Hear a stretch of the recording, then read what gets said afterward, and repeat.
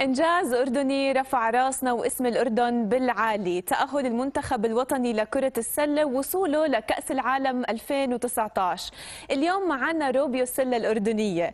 هذا الكابتن الرائع اللي دافع عن هاي اللعبة ومستقبلها وكان من أهم الداعمين للاعبي المنتخب. اليوم متواجد معنا في استوديو يوم جديد قائد فريق كرة السلة الكابتن محمود عبدين بنرحب فيك وأهلا وسهلا فيك. أهلا شهد أهلا صباح فيكي. الخير. صباح النور. يعني كابتن كل حدا بيعرفك وكل حدا بيتابعك بيعرف قد إيه أنت من ثلاث سنين بتحكي عن لعبة كرة السلة وبتحكي عن مشاكلها ويعني بعد كل هذا التعب وبعد كل هذا الجهد تكلل هذا الشيء بالنجاح الباهر. يعني بنقدر نقول إنه مش أي نجاح نحن وصلنا لكأس العالم 2019 فلو تحكي لي عن شعورك بهذا الموضوع. آه، أول شيء الحمد لله طبعا على الإنجاز الكبير اللي سويناه. طبعا آه، من ثلاث سنين لما كنت أطلع واحكي عن المشاكل وأحكي عن الاتحاد وأحكي عن الأندية. نعم. كان كثير اعضاء الاتحاد يرنوا علي زعلانين مني إنه ما بصير تحكي هيك وأندية ترن علي تحكي لي ما بصير تحكي هذا الحكي. بس أنا ما كنت أرد على حدا عشان أنا كنت بدي أحل المشكلة. لأنه كان مستقبل لعيبه عم بروح والسلة كانت راح تنمحي بالبلد. ممتاز. ف إحنا اللعيبة ضلينا نحارب وهذا مش أي حدا بيقدر يسويه. إنه اللعيبة تضل تدفع من جيبتها عشان تلعب سلة. وعشان نضل جاهزين. 嗯。فمحاربتنا إحنا اللعيبة هي اللي وصلتنا للإنجاز هذا. وتابعناك وشفناك كثير على شاشة التلفزيون الأردني وحكيت كثير عن هذا الموضوع عبر هاي الشاشة وعبر مختلف وسائل الإعلام طبعا. ونحن الآن عم نشاهد مقتطفات من المباراة الأخيرة اللي كانت بينكم بين المنتخب النيوزيلندي. وبهذا الحديث وبالصور اللي عم نشوفها بنقدر نحكي عن الفرق بين النتيجة آه، بالنتيجة بين المنتخب النيوزيلندي ومنتخبنا الوطني. كانت ست نقاط وهذا بدل أنه التحدي كان كثير كبير. فلو تحكي لنا عن إصرار لاعبي المنتخب الوطني بالفوز. كيف كان هذا الإصرار وصف لنا إياه؟ آه، طبعا الفريق النيوزيلندي أنت بتعرف فريق كثير قوي. طبعا. هو الأول على مجموعتنا. آه، ما عنده غير خسارة واحدة يعني خسارتين مع اللي إحنا فزنا عليه نعم. فزنا عليهم فيها. فهو من أقوى أفريقيا بآسيا يعني. فإحنا كان عندنا خلص هو الأمل الوحيد إنه نفوز عليهم نوصل كأس العالم. حلو. غير هيك الحلم بروح صحيح. والمحاربه صرنا بنحاربها ثلاث أربع سنين كلها بتروح على الفاضي إذا ما وصلنا كأس العالم.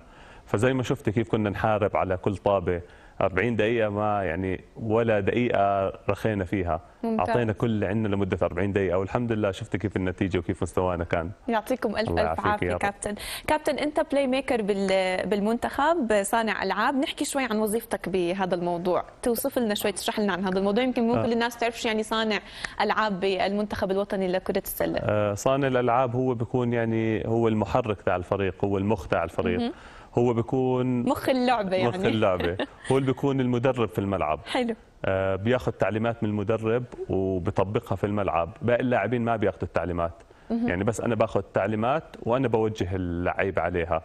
ما الهدف مش إنه أحط نقاط أو الهدف إنه آه، أطبق الخطط آه، الضغط اللي بيكون الفريق بيكون يضغط علينا بالملعب كله. أنا بتحمل هذا الضغط إنه أطلع بالطابة والباقي اللاعبين ما بتحملوا الضغط تكون كل واحد إنه أحطه بالموقع تبعه وبنلعب الخطة.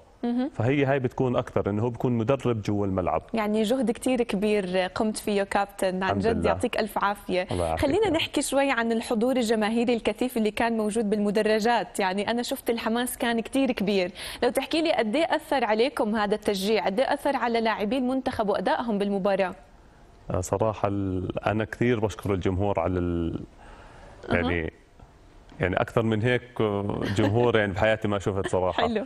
آه، جمهور كان رائع. كان يعني إحنا بنسميها بكرة السلة إنه الجمهور اللاعب السادس. إنه في خمس لعيبة في الملعب هو لاعب إضافي بيكون فأنا برأيي هو جاد كان لاعب الأول مش بس السادس. حلو كتير. آه، أثر كثير أعطانا حماس ووتر الافرقه ضدنا كثير زي ما شفت الصين ونيوزيلندا نسبتهم بال- بالتصويب نزلت من تحت رأس الجمهور. كان الجمهور يوترهم. وبنفس الوقت كان يعطينا حماس. فهذا كثير أثر في المباراة وهذا سبب من أسباب الفوز صراحة. يعني أكيد تحية لكل الجماهير اللي الجماهير اللي كانوا حاضرين معاكم بالمباراة وأكيد كل الشكر لهم لأنه كثير مهم وجودهم ودعمهم طبعاً. لكم. آه كابتن أنا سمعت خبر يعني ما بعرف صحيح مش صحيح أنت بدك تحكي لي هلأ مدى صحة هذا الخبر إنه في عقود أو في إشي برا الأردن بدك تعمله بدك توقعه بدك تتركنا وتروح يا عبدين احكي لي. يعني انت كيف عرفت أول شيء عصفورة حكت لي. هلا آه لسه في حكي بس ما صار شيء أكيد. آه. بس آه يعني إن شاء الله إذا صارت ما راح اترك المنتخب طبعا بصير يعني ألعب وأرجع أمثل يعني المنتخب إن شاء الله. إنك تبعد عنه وتبعد عن المنتخب صراحة. لا مستحيل أبعد عن المنتخب. يعني إن حلو. شاء الله يزبط الموضوع وأكيد راح أضل مع المنتخب. حلو كتير كابتن. كابتن بعد كل هذا النجاح الباهر اللي وصلت له أكيد في داعمين كتير لإلك ب- بهاي المسيرة خلينا نقول. ويمكن زي ما بيقولوا وراء كل رجل عظيم امرأة. وتحية لزميلتنا ليلى السيد الإعلامية الرائعة مذيعة الأخبار بالتلفزيون الأردني وهي زوجتك بتكون. وأنا حابة أعرف كيف كان دعمها لإلك؟ يعني كيف كانت تدعمك؟ كيف كانت تشد على إيدك وتشجعك؟ احكي لي. آه طبعا أنا بشكرها كثير. أكيد دعمتني كثير.